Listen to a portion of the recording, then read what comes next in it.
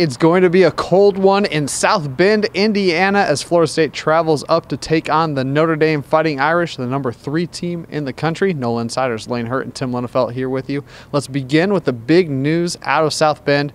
Quarterback Ian Book out with a rib injury. In steps Brandon Wimbush for the Fighting Irish. Tim, how does that change things for what Notre Dame wants to do against Florida State? Well, you know, I think it's it's a step back for them. Obviously, Ian Book uh, is a starter for a reason. Brandon Wimbush started the year as the starter, but uh, you know, there's a reason that Brian Kelly went with Ian Book a few games into the season. He's a really, really accurate passer, really dynamic, and uh, I think you know, you, you, can't help but think that, you know, Notre Dame's offense is hurt by this. You know, Brandon Wimbush, he's a nice player. I think he's a good, uh, he's actually a good deep ball passer and can move a little bit, but some of the, uh, the intermediate and shorter routes that things that you rely on accuracy for. Uh, I don't know that he's as quite as advanced as Ian Book is, and I think that's reflected. I think Ian Book, uh, he's completing somewhere in the neighborhood of 75% of his passes. Brandon Wimbush is down around 55%, so a huge drop off there. Uh, so we'll see. You know, I, I, suspect that, and when one that between that and then also the weather conditions, I think you're probably going to see Notre Dame try to run the ball a little bit, set up those deep passes if they can, and if the wind permits, uh, that Brandon Wimbush is a little bit better at. But uh, yeah, I think it does impact what they're going to do. Tim, we're going to talk a little bit less about the weather conditions because I'll be down on the field for oh, the game and more about the game.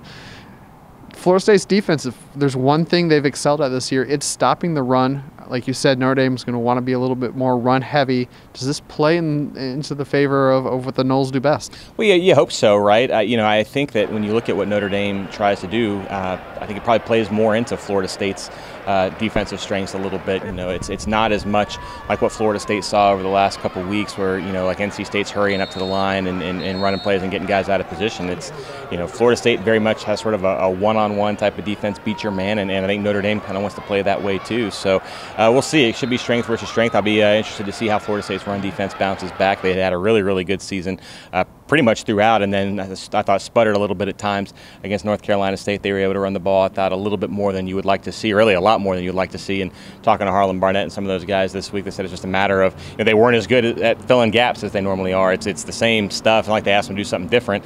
Uh, they just didn't do it as well as they had uh, in previous weeks. So uh, they'll get another opportunity this weekend.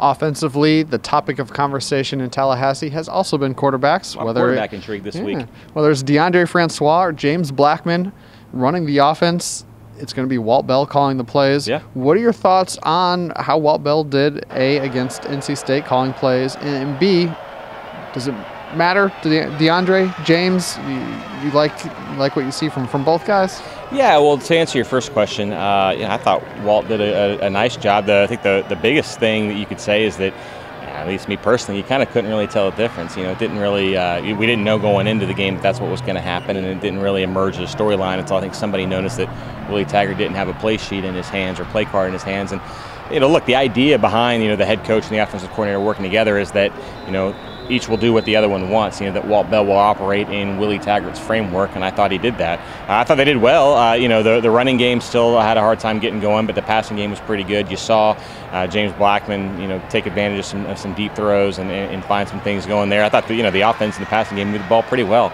Um, as for uh, for quarterbacks. Man, I don't know. Everybody has an opinion on that. To me, you know, I believe it or not, I know people kind of roll their eyes when you say this, but I, am kind of with uh, with Willie Taggart on that. I really don't know that it matters. Uh, you know, my own opinion is I think that that uh, Deondre Francois probably could have had a pretty nice game against North Carolina State. Uh, their secondary has struggled throughout the year, um, and you know it wasn't any different when Florida State came to town. And, and we know that Deondre can throw the ball, uh, so I think he could, definitely could have gone out there and, and played really well. Um, so we'll see. Uh, I, I, really don't know. Uh, I, I, wonder if uh, if they've even made a decision yet. I, I, suspect that they probably have a way that they're leaning, just because that's the way coaches operate. But uh, I think we'll we'll all kind of wait and see. There you have it, Seminole fans. It's the Noles and the Fighting Irish on Saturday, 7:30 p.m. in South Bend. That game will be on NBC. Make sure you get out, support your Noles, watch that one.